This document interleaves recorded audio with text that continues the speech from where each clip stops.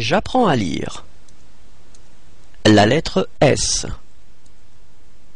Ça, ça, ce, ce, si, si, so, so, su, su, si, si.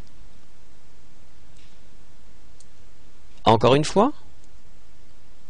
Ça, ça, ce, ce, si, si, so, so, su, su, si, si.